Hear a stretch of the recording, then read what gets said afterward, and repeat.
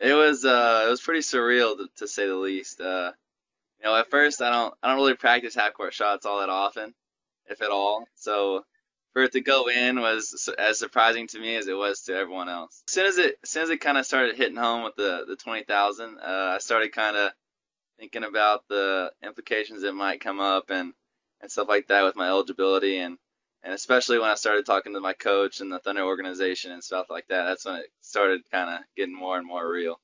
We are we're currently appealing it with the NAIA to not to just accept the money outright, but instead for it to be donated straight to the college towards my tuition instead. I can I can easily say that twenty thousand would help me a lot being a, a college student with a ton of student loans, but at the same time, I think we'll be I think I'll be fine.